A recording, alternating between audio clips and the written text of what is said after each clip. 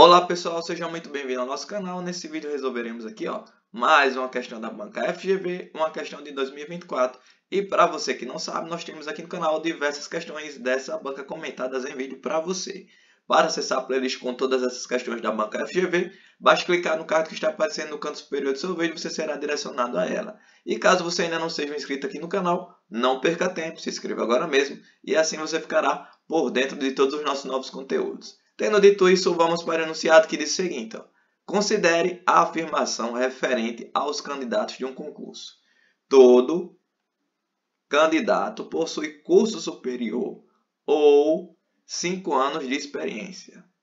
A negação lógica dessa sentença é: bom, observe o seguinte: para você negar o todo, basta você trazer a ideia que existe um existe um, existe algum, pelo menos um. Então você vai procurar é, sentenças né, né, alternativas que trazem essa ideia, porque você precisa negar o todo, beleza?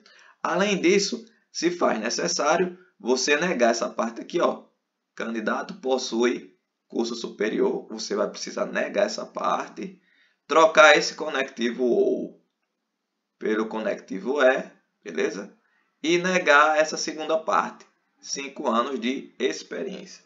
Se você analisar com calma agora as alternativas, você verá que a letra E aqui, ó, ela terá justamente essas características. Ela traz a ideia ó, de que há candidato, ou seja, existe pelo menos um, né?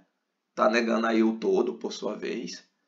Ela nega aqui, ó, o fato do candidato possuir curso superior, ou seja, não possui curso superior, troca o ou por é e também nega a segunda parte, não possui 5 anos de experiência.